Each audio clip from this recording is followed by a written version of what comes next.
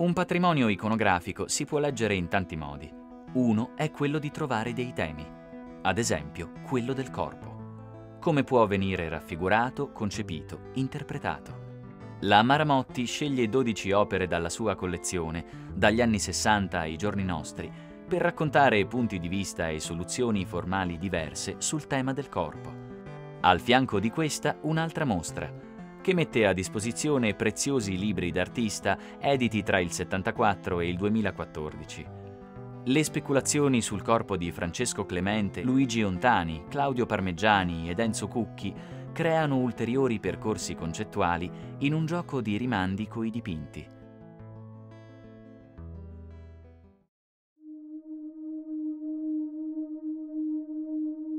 Mediatico è il corpo di Matthew Antezzo, che ridipinge un'immagine di Pierpaolo Pasolini mettendo in moto una riflessione sul ruolo dell'artista e sul potere di suggestione della comunicazione contemporanea.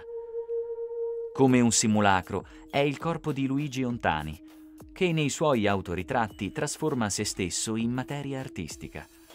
Il suo corpo si contamina e si apre ad ogni possibile porzione dell'immaginario, oltre i linguaggi e le culture.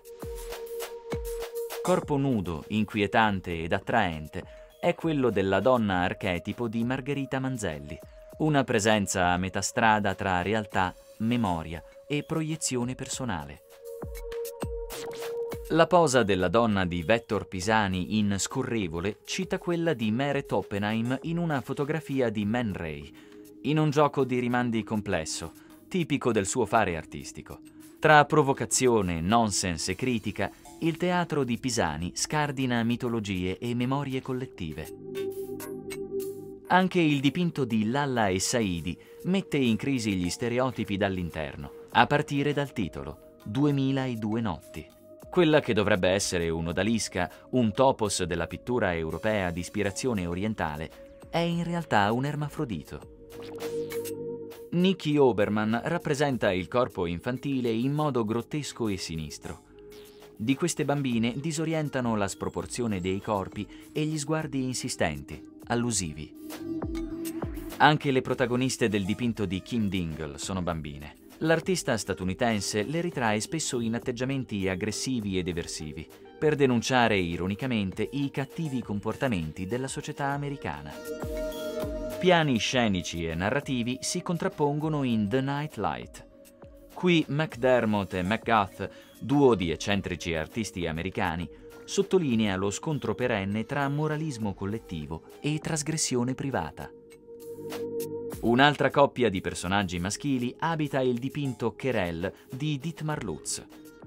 A metà strada tra il fotogramma cinematografico e lo schizzo, le sue pennellate ampie conferiscono alle immagini un senso di forte immediatezza.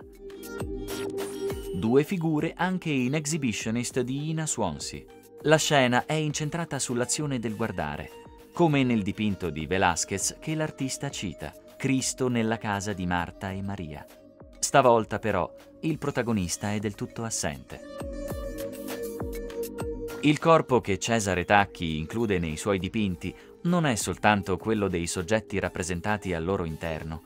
Protagonista della pop art di matrice italiana, l'artista inserisce tappezzerie, carte da parati, elementi che fanno parte della vita quotidiana all'esterno dell'opera pittorica, nel mondo di chi la sta guardando. Infine, Mario Schifano, che dissolve del tutto la materia corporea.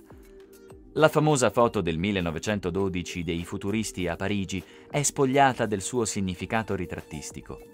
Attraverso la cancellazione dei connotati e l'uso dell'aerografo emerge così un senso di movimento e di durata, come se in quella foto Schifano fosse riuscito a scorgere le idee nascoste sotto i volti.